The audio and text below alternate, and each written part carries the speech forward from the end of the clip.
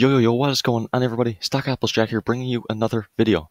And today we are going to be discussing once again the trending and confusing MMTLP. So, as you can see, on Friday, it closed at $1.90 per share.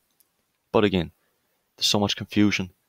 George, who is the CEO of Meta Materials, has not made an announcement yet.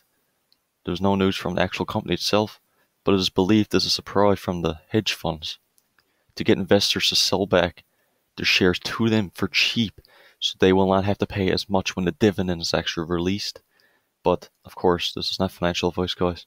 This video is for entertainment purposes only, and we are going to get into some big stuff here. So, the volume on MMTLP was over 11 million on Friday, while MMAT's volume was just roughly 6 million. As you can see here, MMTLP reached a high of 320 and it opened at 80 cents. All next week should be a big day. The volume should increase substantially from 11 million with the amount of hype, in my own opinion.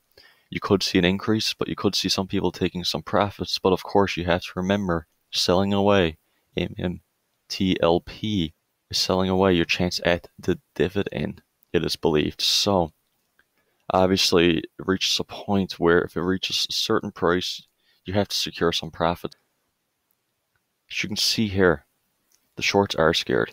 Somebody asked a question just based on the dividend paying stock, and they said, Why do, did I have to repay it? As you can see, there are several downsides to short selling. And as you can see here, you are responsible for paying any dividends issued by the stock while you're short. And here's why. However, in the meantime, whoever you borrowed the shares from still technically owns them. And if there's a dividend, that is scheduled to be paid out, they are entitled to it.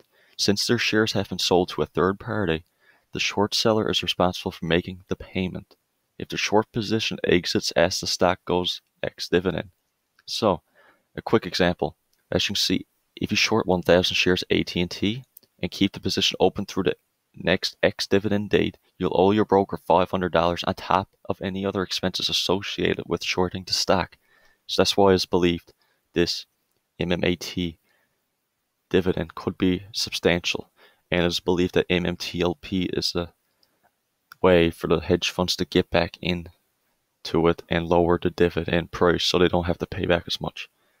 As you can see here, it is not guaranteed either that we'll receive the preferred stock dividend because the asset sale must occur to the earlier date of December 31st, 2021 which is six months from the closing agreement. But if it's not sold by then, obviously you heard tell about this. The company will effect a spin-off, be basically a spin-off dividend.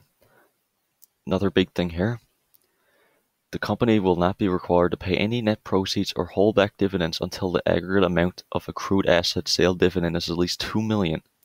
So with every two million dollar in sales, they can issue a dividend to the shareholders, but it is believed they will have to pay this out to the shareholders who held through the ex dividend date within 30 days. So you should see your money within 30 days. Again, nobody knows when the dividend is happening, but it's very interesting to say the least. But continuing on, while I know the OSTK Series A dividend. So as you can see, short positions pre-merged are required to buy back the preferred share dividend as we talked about. An example is OSTK. You can see, OSTK issued a preferred dividend value on May 22nd, and short positions were forced to buy back the dividend when scree- which squeezed the stock and the preferred dividend. The stock squeezed from to $120. The preferred dividend ran, ran from $8 to $80. But since MMAT did not make an official announcement about MMTLP, the preferred shares are irrelevant still at this moment because we don't really know what's going on. But with OSTK, I know it's a different case. I'm just giving an example because the preferred dividend is what happened to OSTK as well. I'm not saying this will happen with Meta. You have to do your own research and own due diligence, but it's going to be interesting to see what happens next week.